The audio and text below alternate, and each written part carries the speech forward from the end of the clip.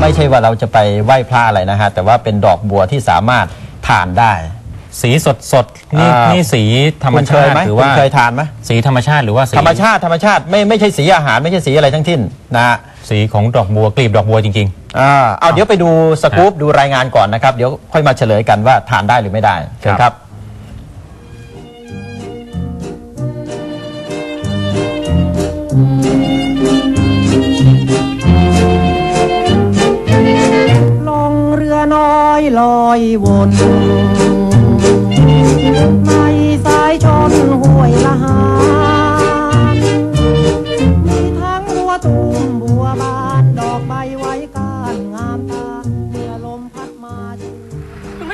คนไทยคุ้นเคยจากการนำบัวไปปรุงอาหารมาตั้งแต่โบราณแล้วนะคะ แต่สำหรับดอกบัวแล้วส่วนใหญ่ก็จะนำไปไหว้พระ แต่ว่าตอนนี้นะคะ เราจะมีเมนูแนะนำค่ะ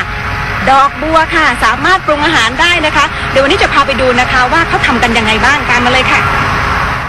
ฟังไปลมเราหรือไทยลำพอ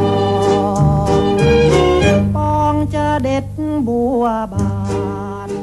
และที่นี่นะคะคือคณะเทคโนโลยีข้ากรรมศาสตร์ค่ะ ที่นี่เนี่ยมีการเรียนปรุงอาหารอ่าสูตรอาหารถนอมอาหารต่างๆ มากมายนะครัคะบแต่ว่าวันนี้อาจารย์พงศักดิ์จะแนะนำเมนูบัวเมนูหนึ่งอ่า ซึ่งจริงๆแล้วทำได้มากกว่านั้นอีก ใช่ครับ ประมาณกี่เมนูคะอาจารย์ ทั้งหมด 60 ตำรับนะครับ เกี่ยวกับเรื่องบัวเอ่อผิดพันธุ์จากบัวทั้งหมดค่ะนะครับทานได้นะคะทานได้ทั้งหมดวันนี้ครับแนะนำอะไรคะ เอ่อเมี่ยงบัวหลวงนะครับโอ้ อ่ น่าสนใจมากค่ะอาจารย์ใช่ครับเริ่มจากอะไรดีก่อนอันดับแรกเนี่ยนะครับเราต้องได้บัวจากที่เราปลูกเองนะครับอืมแล้วก็โดยที่ไม่มีสารเคมีค่ะนะครับแต่เราก็ต้องคำนึงเรื่องของความสะอาดก่อนนะครับจากนั้นเนี่ยนะครับเราก็ต้องมีน้ำสะอาดค่ะนะครับเพื่อจะล้างกลีบบัว แล้วก็มีเกลือนะครับปกติของเราเนี่ยนะครับเกลือธรรมดาเนี่ยใส่ลงไปประมาณสัก 1 ช้อนชา ครึ่งช้อนชาเนี่ยนะครับโรยไปนะครับ แล้วก็คนให้ละลาย คุณสมบัติของเกลือจะช่วยล้างกลีบบัวให้สะอาดค่ะ แต่ต้องย้ำกันก่อนนะคะ ว่าดอกบัวที่ทำเมี่ยงวันนี้ คือดอกบัวหลวงราชินีค่ะ เพราะได้ผ่านการวิจัยแล้วว่าปลอดภัย จะเห็นว่าดอกบัวนี่มีอยู่สองสีนะคะ ค่ะสีอันนี้สี อันนี้คือสีชมพูเป็นค่ะดอกบัวหลวงของปทุมแล้วอันนี้ล่ะคะครับ อาจารย์อันนี้คือบอกดอกบัวธรรมดาเนี่ยนะครับทานได้ไหมคะอ่สองดอกนี้มีดอกนี้ที่ทานได้อ้าวอ่ามีจากการวิจัยออกมาแล้วนะคเหรอรับคะว่ากลีบบัวเนี่ยรับประทานได้แล้วแล้วตัวนี้ล่ะคะอ่าตัวนี้คืองานวิจัยยังไม่ได้รับรองครับาลองดูไหมคะอาจารย์อ่าวันนี้ ก็ อาจจะมีอะไรเอฟเฟกต์นิดหน่อยนะครับ แต่ว่าแนะนำให้รับประทานบัวหลวงของปทุมดีกว่านะครับ ค่ะงั้นเชิญเลยค่ะ อาจารย์พงศักดิ์บอกว่า เหตุที่ทำเมี่ยงดอกบัวหลวง ก็เพื่อเสิร์ฟให้แก่คนที่ไม่ชอบกลิ่นเหม็นเขียวของใบชะพลู และเชื่อว่าสีสันของดอกบัว จะดึงดูดความสนใจได้ อีกทั้งระหว่างเคี้ยว จะได้กลิ่นหอมบางๆ ของดอกบัวขึ้นจมูกด้วย อาจารย์หวังว่าสักวันหนึ่งจะมีธุรกิจร้านอาหารนำไปบรรจุเป็นเมนูแนะนำโดยเฉพาะร้านอาหารในเมืองปทุมธานีที่เป็นแหล่งปลูกสำคัญค่ะ ครับในเชิงพาณิชย์เนี่ยนะครับเอ่อเมี่ยงบัวหลวงของเราเนี่ยนะครับสามารถที่บรรจุไปอยู่ในเมนูนะครับของร้านอาหารทั่ว ๆ ไปได้ โดยถ้าใครร้านไหนสนใจเนี่ยติดต่อมาที่มหาวิทยาลัยของเราได้เลยนะครับ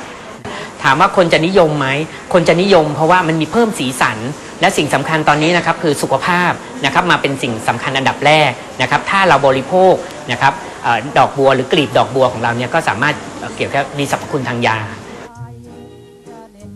สรรพคุณทางยาที่ว่าได้แก่ช่วยบำรุงคัน แก้ไข้มีพิษร้อน แก้เสมหะ บำรุงหัวใจและบำรุงโลหิตค่ะ อย่างไรก็ตามเมนูดอกบัวหลวงจะปลอดภัยและเป็นยาได้ ก็ต้องใช้ดอกบัวที่ปลูกโดยไม่ใช้สารเคมีเท่านั้นนะคะ เนื่องจากบัวที่ปลูกสำหรับไหว้พระในปัจจุบัน ส่วนใหญ่มักพ่นยาฆ่าแมลงทั้งสิ้น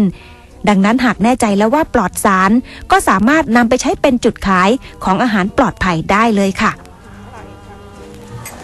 ติดใจแล้วค่ะ สวยด้วยค่ะอาจารย์ สีสันเพิ่มสีสันให้กับอืม อาหารด้วยนะครับ เป็นเมี่ยงคำที่สวยที่สุดนะคะ สีสันสวยมาก ครับ แล้วก็อร่อยที่สุดด้วยค่ะ